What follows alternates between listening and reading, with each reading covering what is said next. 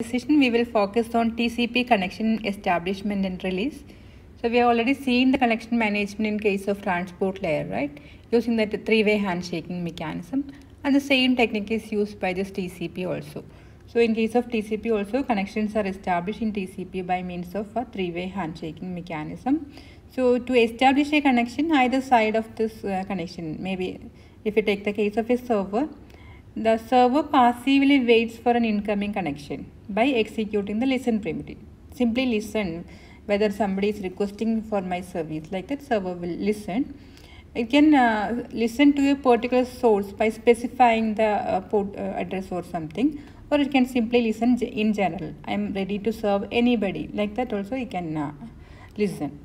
On the other side that on the client side the client execute a connect request okay it is requesting for a connection from a server. So how it will execute the connect primitive specifying the IP address and port number to which server and which service from that server I should uh, get the service. So specifying the IP address and port number it will issue a connect primitive. And uh, some other information also will be there in this request maximum TCP segment size it is willing to accept or optionally some other data like passwords and all will be there in the connection request. The connect primitive sends the TCP segment with SYN bit on and ACK bit off and waits for a response. So we have already seen these two flags right in the TCP segment SYN and ACK. So in the connect request SYN will be 1 but ACK will be 0 and the reply back from the server to client both SYN and ACK will be 1 and when these segments arrive at the destination that is the client issues a connect primitive and that request or that uh, TCP segment arrives at the destination that is at the server. The TCP entity though checks to see if there is a process that has done a listen on the port given in the destination port field.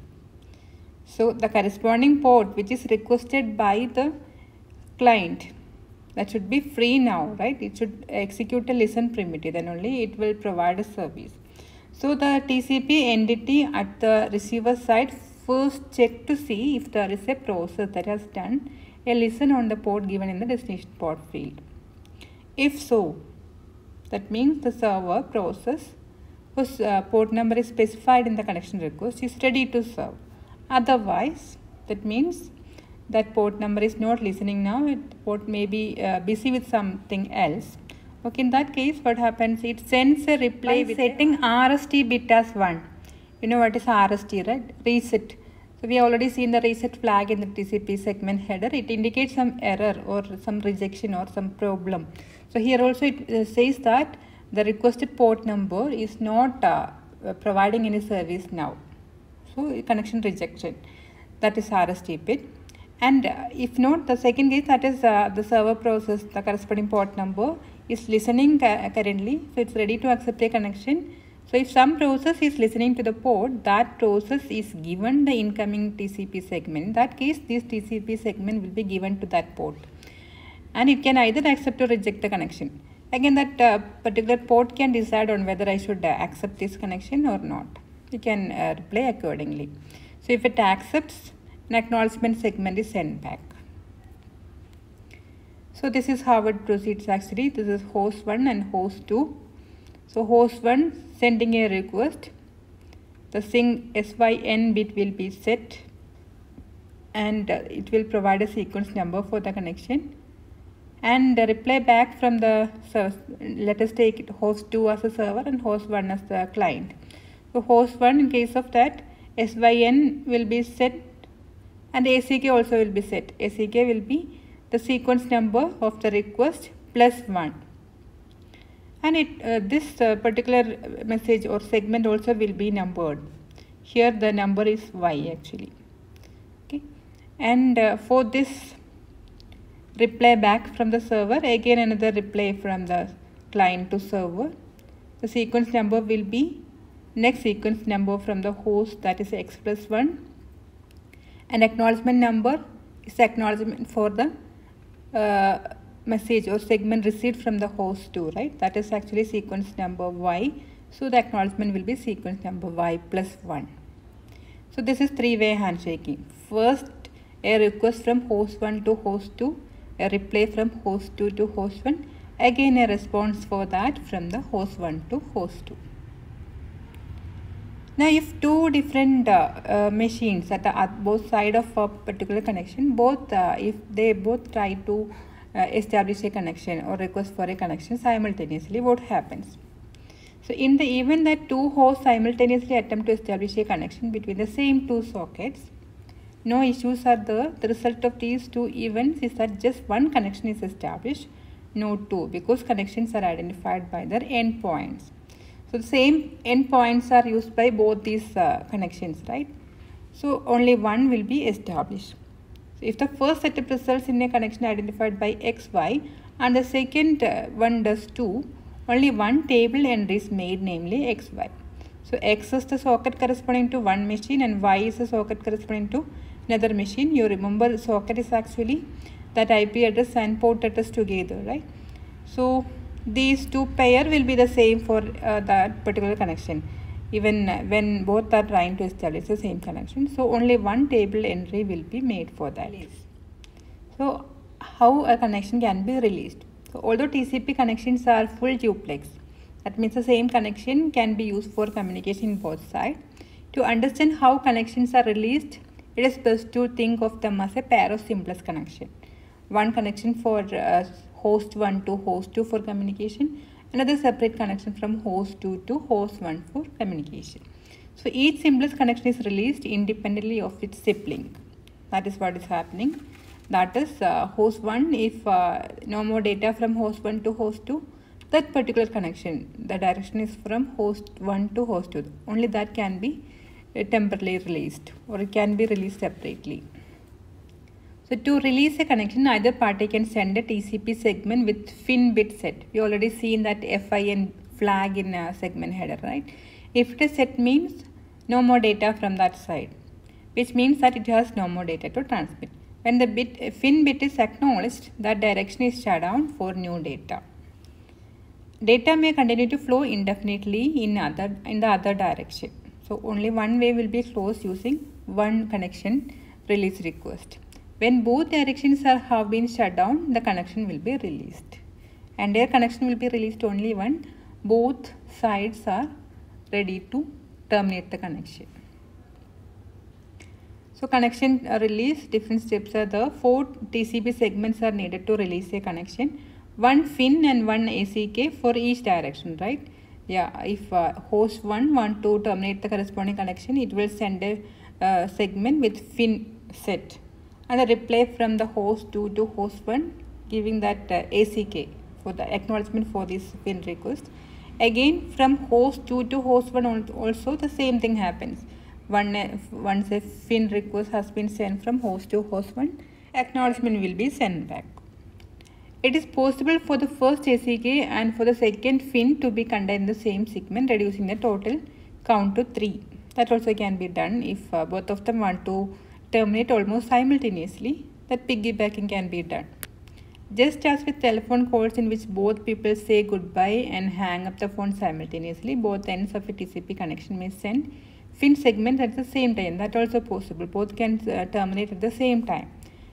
These are each acknowledged in the usual way and the connection is shut down. There is in fact no essential difference between the two hosts releasing sequentially or simultaneously whatever happens these two connections will be released separately even if they are uh, trying to do simultaneously.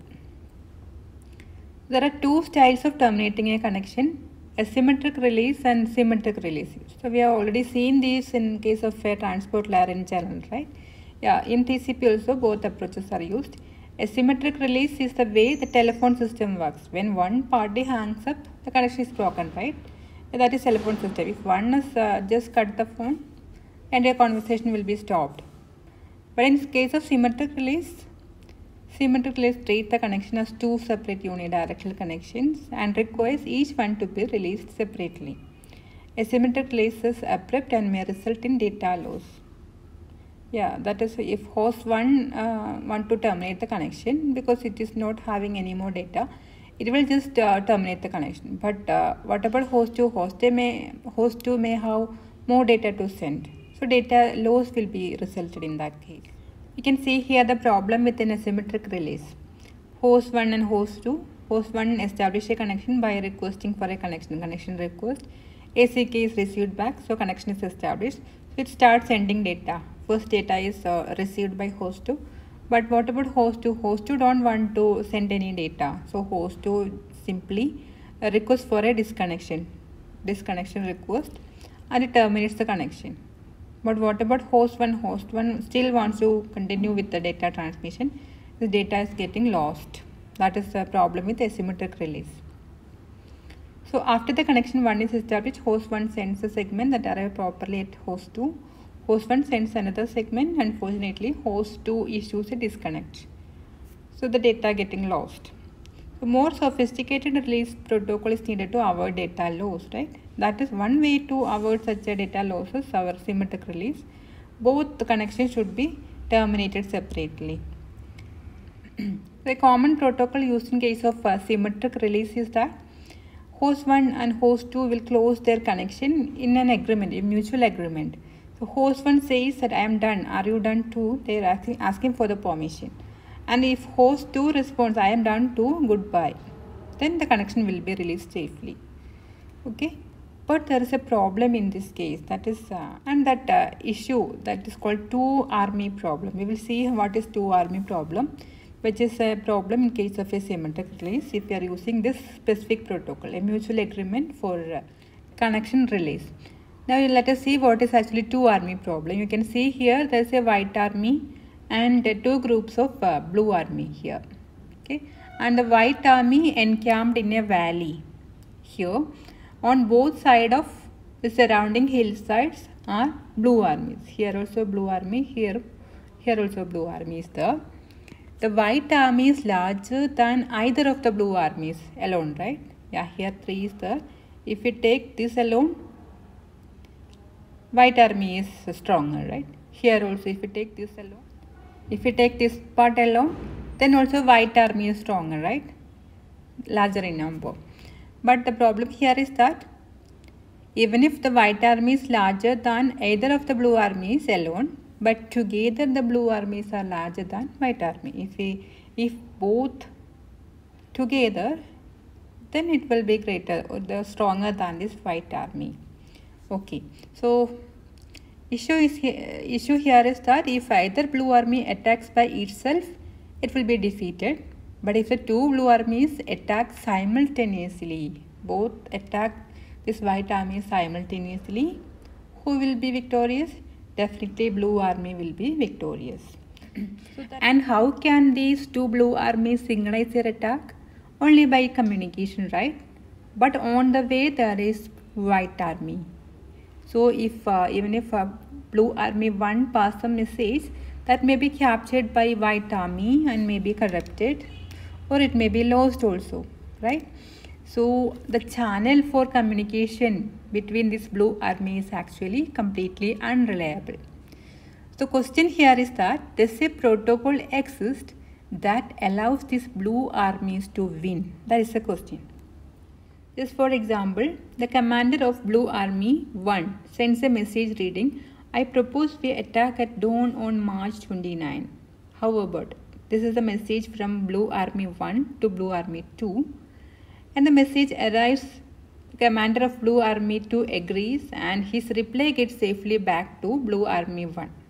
Okay, without any attack, safely the request and the reply reached correctly. Will the attack happen? Probably not because the commander 2 that is Blue Army 2 does not know if his reply got through right?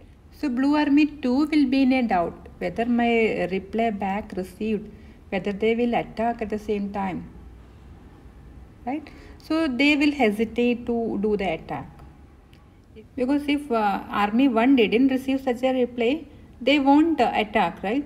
So it would be foolish uh, for this uh, Blue Army 2 to charge into a battle. That's the thing here. So how this can be solved? Can we use a three-way handshaking mechanism here also? That is the initiator of the original proposal must acknowledge the response. That is uh, Blue Army 1 will request for an attack first. Blue Army 2 reply back again blue army 1 say that yeah i have seen your response we can start an attack. So do you think that the problem will be solved using this three-way handshaking mechanism?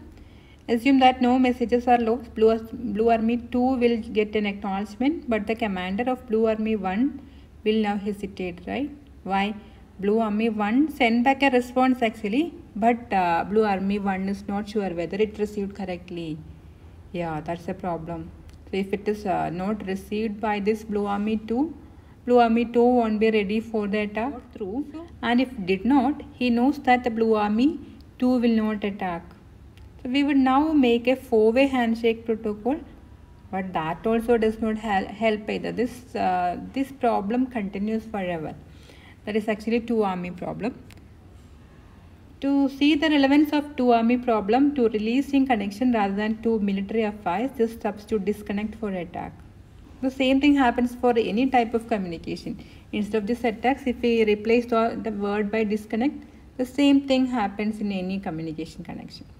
That is, if neither side is prepared for disconnect until it is convinced that the other side is prepared for disconnect too, the disconnection will never happen as the issue. In case of TCP, this two army problem is uh, solved using a timer. So timer, if a response to a fin is not forthcoming within two maximum packet lifetime. So timer is set with a time which is equal to twice the maximum packet lifetime. And if a host requests for a disconnection by setting a fin bit in the corresponding segment, and it does not receive any reply back within this timer timeout period, the sender of the fin will simply release the connection. Okay. The other side will eventually notice that nobody seems to be listening to it anymore and it will time out as well. Other side also if it sends some data and all, it sees that uh, yeah nothing is happening from the other side. I am not receiving any acknowledgement. So it will also eventually terminate. So even if this solution is not perfect, somewhat addresses our two army problem. That's about the connection release in TCP. Thank you.